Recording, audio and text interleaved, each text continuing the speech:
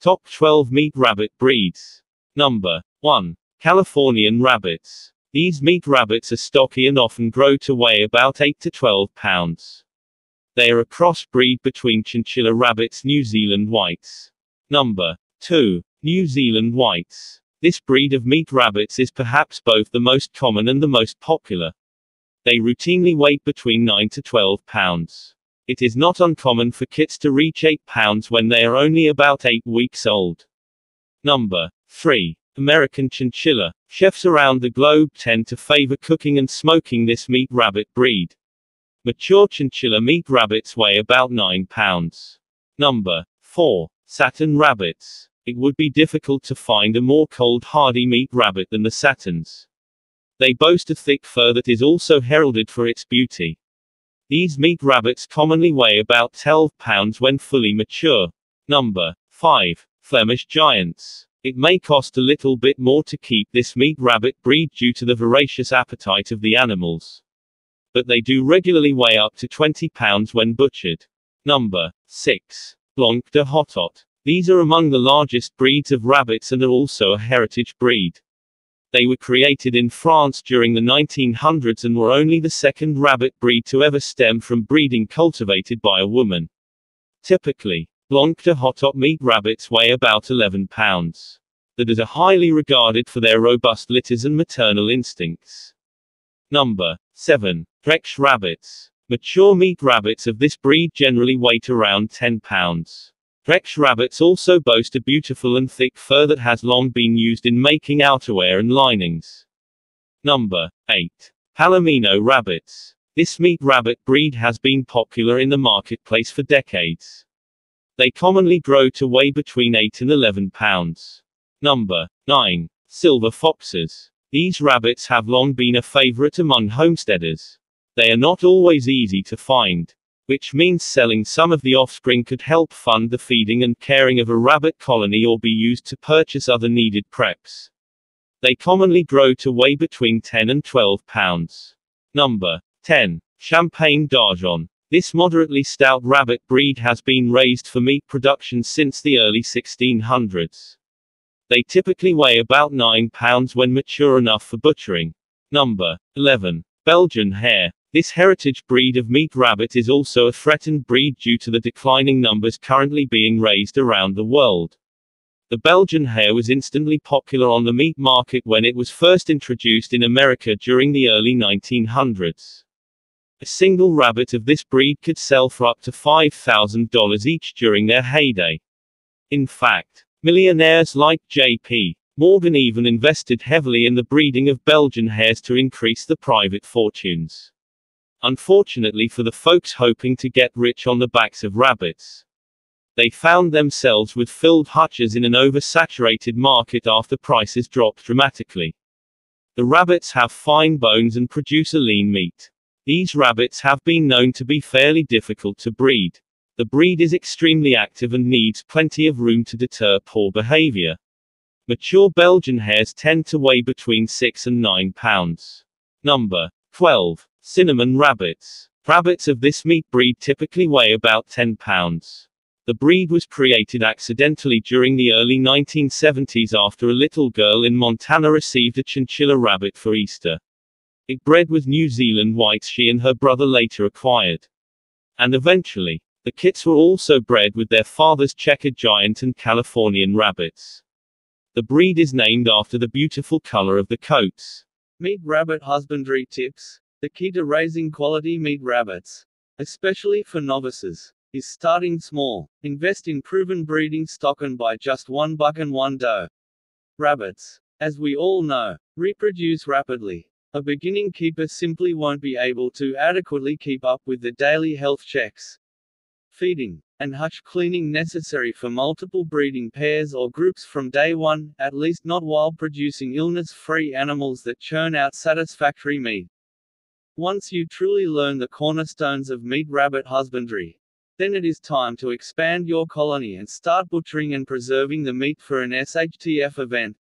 The perfect meat rabbit colony ratio is 1 buck to 2 females. Such a setup should most likely produce up to 50 kits baby rabbits on an annual basis. A small colony of rabbits, regardless of the meat breed, can produce more than 300 pounds of just female kits per year. Creating a steady supply of future breeding does.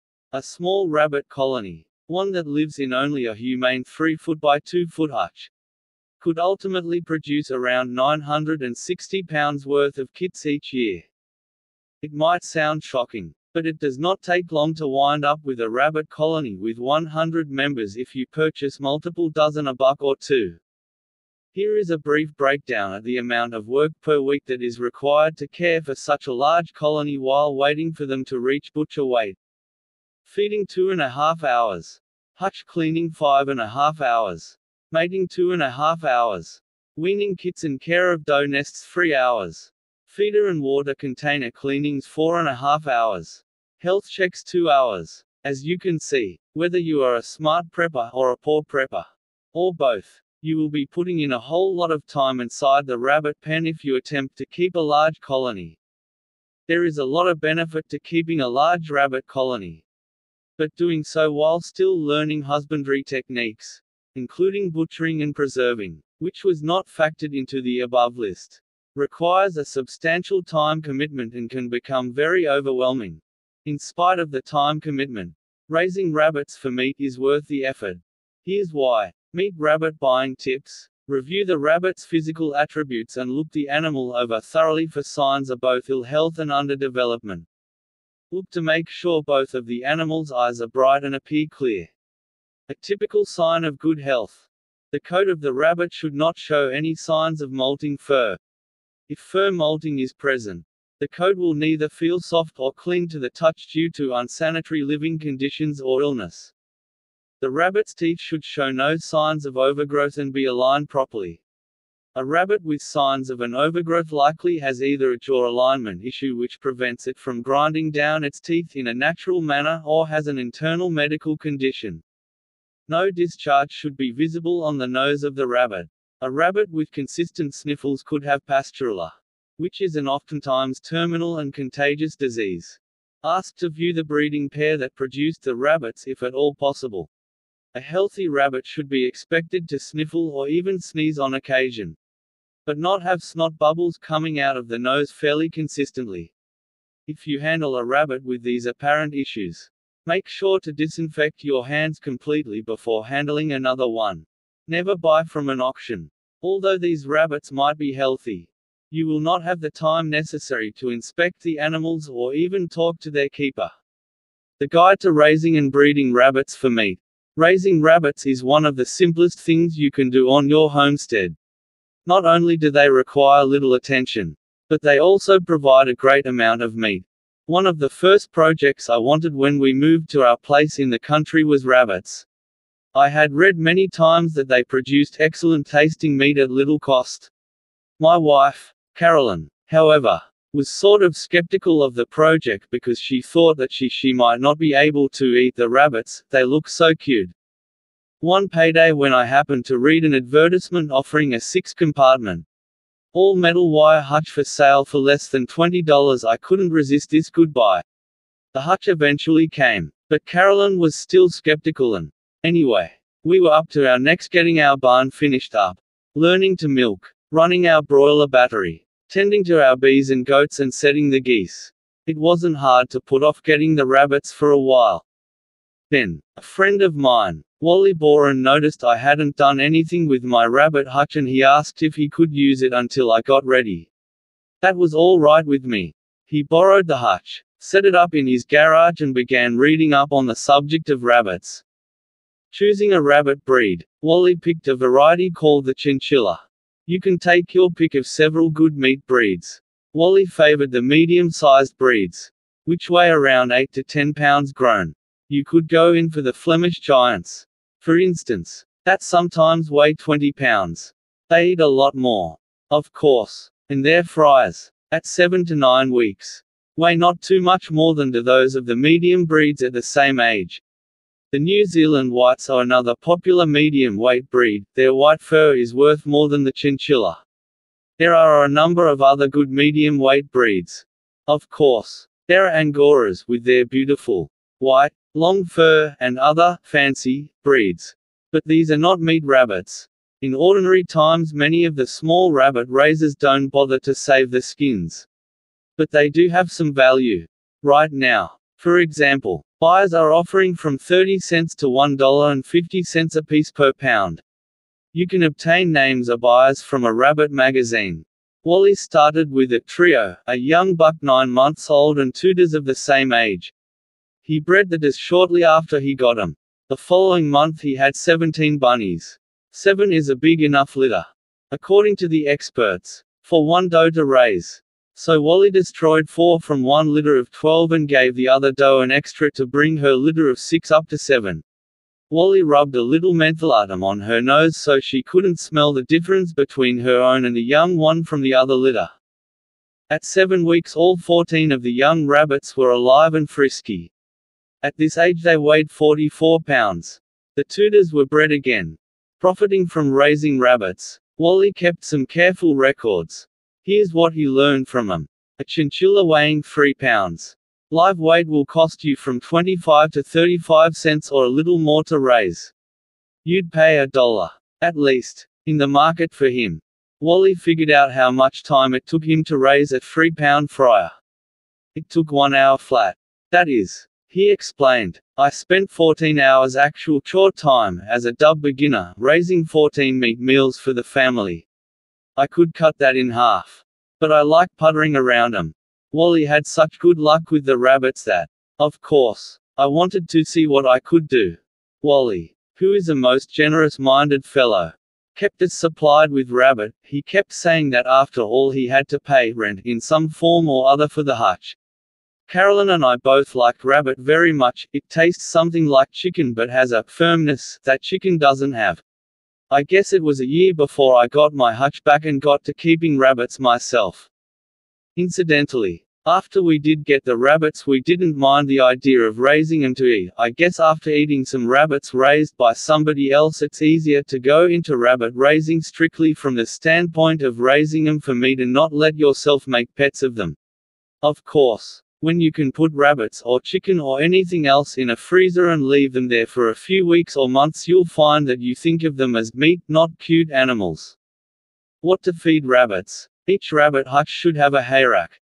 This you keep full of hay, the rabbit experts recommend alfalfa. But a good, leafy clover hay is alright.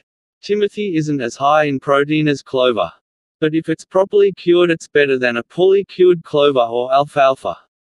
The rabbits can manage the hay better if it is cut up in 3 or 4 inch lengths. Take a handful, squeeze it into a bundle and saw it off into a box with an ordinary hand saw. You can also feed vetch, cowpeas, and other rich hays. You can give your rabbits dried scraps of bread and crusts, also any kind of vegetable parings and tops they'll eat. You can feed them lawn trimmings and weeds. But don't leave what they fail to eat in the pen. Take it out next day and pretty soon you'll find what they like best and how much to feed. Rabbits relish carrots and other root vegetables. Feed green foods sparingly at first if your rabbits aren't used to them. Sometimes they eat too much and bloat or get diarrhea. You also feed them one of the prepared rabbit pellet foods or whole grain, they don't seem to like any grain that's ground up too fine. You can ask the man you buy your rabbits from for directions as to what he's found the best methods of feeding. How fast do rabbits multiply? Everybody has a story about how fast rabbits multiply. I remember a friend of mine who had a small family and worried about this when getting his rabbits. In fact, he decided that he'd start with the minimum a single doe and a single buck.